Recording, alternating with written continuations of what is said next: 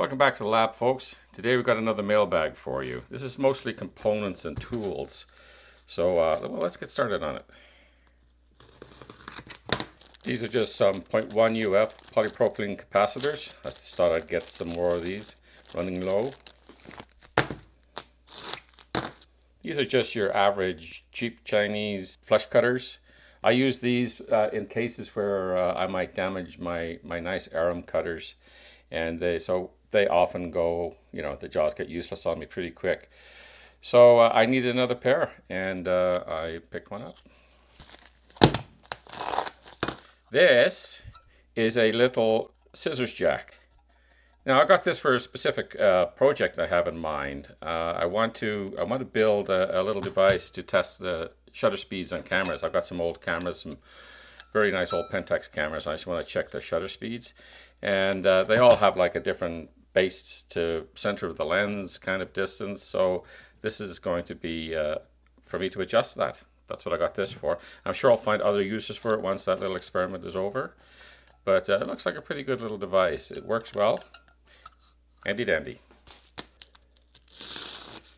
These are little QX5252Fs. What what these are, these are the, the, the little controller chips that are inside, um, you know, like outdoor LED lighting, you know, those little pod lights that go down beside your sidewalk and stuff like that.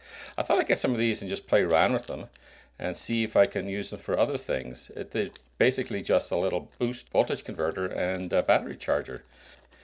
I'm going to have a look at these probably in an upcoming video. Ah, there's some nice, uh, nice big alligator clips. I wanted to make up some more cables and uh, I thought I would get these really nice alligator clips. They look good. They've got a nice plastic coating on them for insulation. Now these ones look like they can go directly on banana plugs, so I may just keep them that way, or I may find a way to solder or crimp wires onto them.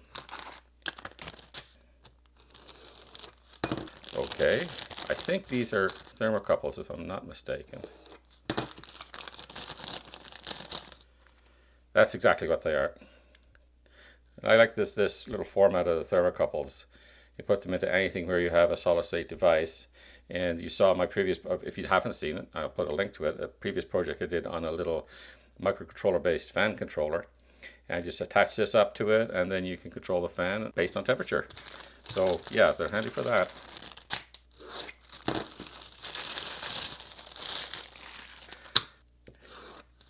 L7812s, so they're voltage regulators.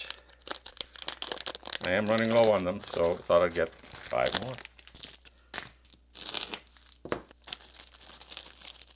More voltage regulators. So these are the, the 74, 79L05 and 78L12. Yep, just stocking up. A lot of the stuff I'm getting this time are regulators and transistors and stuff like that. These are 2N3819s. I've never had these before, so I thought I'd get some and try them out. Okay, so these are SI 4825-A10s, but these are our little uh, radio on a chip. Yeah, thought I'd get, uh, you know, for fun, play around with these, maybe uh, do a video on making a radio that doesn't work. Look for that in the future. More little TO92s. So these ones here are 78L12. More regulators. And very well regulated around here. Ah, yes, these are these are some uh, resettable fuses. So I thought I would get uh, half amp, one amp, and two amp, and try them out in some projects. There's a couple of uh, little iSesamo opening tools or spudgers. These ones are, are favored by uh, Big Clive, so I thought I'd give them a try. I need one in my other lab, and I thought, oh, well, you know, I can get two for twice the price, so I got two. Just to keep one around as a spare. I have a spudger down here that works very well, but now I've got three. Well, what do we have here? So these ones are 2N6517 NPN ep epitaxial transistors, high voltage. I think they're good up to about 350 volts. These little guys here are 2N5060 sensitive gate silicon control rectifiers.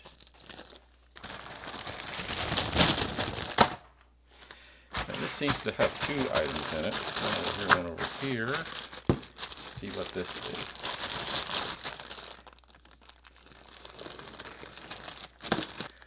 Ah, okay. So these, I've never, I've never used these before.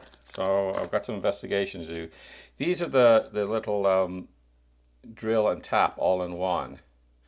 So I've got uh, 3 millimeter, 4 millimeter, 5 millimeter, 6 millimeter, 3 millimeter, 4 millimeter, 5 millimeter, 6 millimeter, 8 millimeter, and 10 millimeter. And they all they came as a set. And uh, yeah, I've got to figure out how to use these and see if they're any good. This here is a plastic liquid dispenser bottle. I got this for putting IPA into because a lot of times I'm cleaning off stuff and you're trying to hold things at the same time and and and put uh, put the alcohol on it. And in a lot of cases you need three hands. So uh, uh, let's put some IPA in it and see if it works give it a squirt here to prime it see if that helps so let's see if this works now yeah it does dispense a little bit of alcohol Perfect.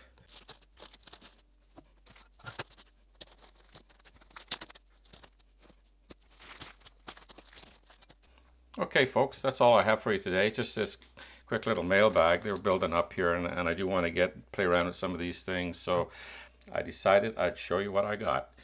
All right, we'll see you in the next video, guys, and that's going to be coming back to our DC load, uh, where we're going to stress it and find out its limits. I need to be able to get something to get 20 amps through it. I need to try to see if it'll do 100 watts and whether it will hold the temperature at 100 watts. And I need to be able to adjust, there's a one resistor in it that needs to be calibrated because I've got a, a different meter than the one I showed before. That meter is a, a higher current rating. The one I showed you before is only 10 amp, but I have a, a different meter to go in there and I don't know what the resistance of the shunt in it is. So we're going to have to do a little experiment to find out how I can adjust that uh, resistor that I'm talking about so that the maximum, when you turn the thing up, the maximum will be 20 amps because I don't want to have to go beyond that. Um, those transistors will take more than that, but I'd like to be a lot of headroom and make this a very, very reliable little DC load. All right, we'll see in that video. And if not, we'll see you in the next video that you come to see me. Bye-bye now.